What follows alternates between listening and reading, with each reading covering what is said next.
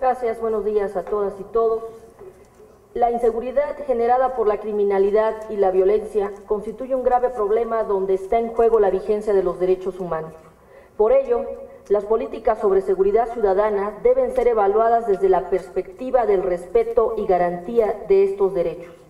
En este sentido, el Estado tiene una ardua tarea de no ingerir, obstaculizar o impedir el acceso al goce de los bienes que constituyen el objeto del derecho, pero al mismo tiempo de proteger e impedir que terceros interfieran, obstaculicen o impidan el acceso a esos bienes. Así una de las dimensiones principales se vincula al esclarecimiento judicial de conductas con miras a eliminar la impunidad y lograr su no repetición.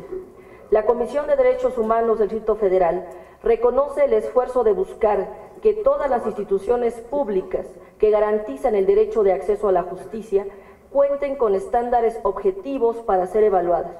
Celebra que la Oficina del Alto Comisionado de Naciones Unidas se haya dado la tarea de establecer indicadores para un juicio justo, primero con el Tribunal Superior de Justicia del Distrito Federal, posteriormente con la Procuraduría, y ahora para ampliar más esta concepción al generar indicadores sobre seguridad ciudadana.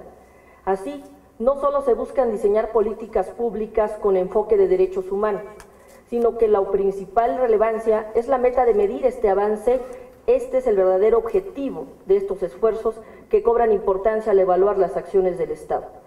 Estos indicadores reflejarán el esfuerzo que se realiza para garantizar por el derecho a un juicio justo desde la Secretaría de Seguridad Pública y su respeto al derecho a la integridad, a no sufrir tortura, a la no discriminación, a la igualdad, a la libertad de expresión y el derecho a las mujeres a una vida libre de violencia, entre otros más.